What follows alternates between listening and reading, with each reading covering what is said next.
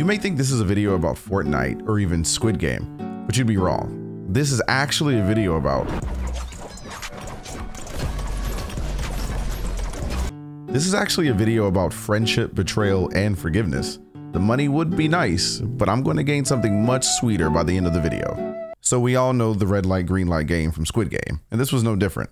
And by no different, I mean that I started, I stopped, that I started, I stopped, all the way to that sweet princess at the end of the race. But you see that Deku? Remember him. He doesn't know it yet, but he's the star of this video. Next, I made it to the staircase level. It was basically me being trapped in an MC Escher painting, but this time with a relatively simple way out. Do you get it? Do you get it? Because the painting is called Relative. So I beat the level, and look who we saw, Deku. And like his classmates from UA, I guess I'm gonna follow him anywhere. This level was interesting because instead of cutting the outline of a cookie, we walked across the outline. You're the knife. The cookie's been cut. The metaphor here is chilling. So I made short work of that level and moved on to finding the perfect bed for hiding, but no one seemed interested in killing one another, so this one was actually very easy. Plus I couldn't find Deku. Pause.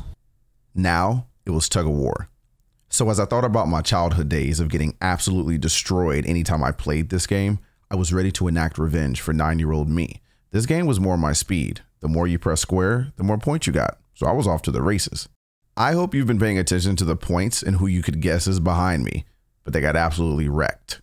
I almost felt bad. We responded to our win like true professionals.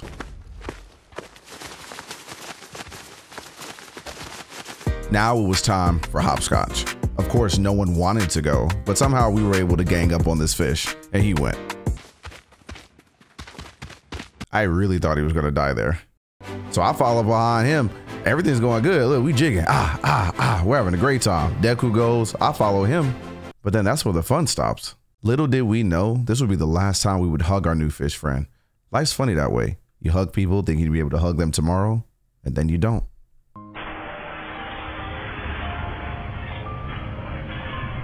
We quickly mourned and danced our way all the way to the end. I really appreciate it tonight. Here I found a random friend who would stay with me for the rest of the game, making sure we both lasted as long as we could until it was time to play the Squid Game. Dear finalists, welcome to the final game. In 15 seconds, use your pickaxes to defend yourselves. The last player standing will win the game. I didn't want to hit him. He didn't want to hit me. And why would we? We brought each other along as long as we could, only to have to kill each other in the end. That's not what I wanted, but it's what had to be done. With the bowing done, we started our fateful dance.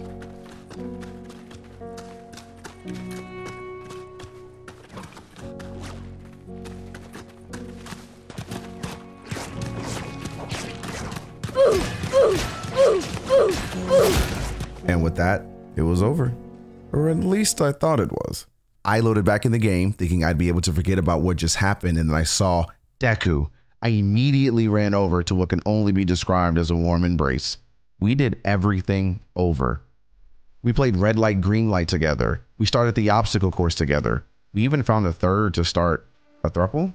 I couldn't help but stare at what we had accomplished. I found myself tracing along my outline alone, only to be quickly reunited with my thruple friend group. Everything was perfect. We even survived the dangers of the night together, giving our Christmas cheer to everyone near. But then we remembered tug of war. No one wanted to move. We were frozen, but we knew what we had to do, and thus we began to pull and tug and yank. The seconds turned to minutes, minutes to hours, hours to days, until we gave our last goodbyes.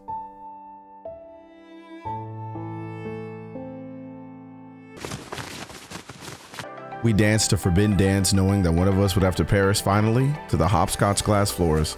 I was going to sacrifice myself, but then Deku did what only Deku would do. Became a hero. And with that, I won. Finally, I had won. But it didn't feel like it. In fact, the more I was told I won, the more I felt like I lost. I quickly left the game. I went right back in. I searched everywhere, every bed, every sheet, every corner. But I couldn't find him. I didn't even remember his name. All I remember is that I had won the Squid Game, but then I remembered I had also lost a friend.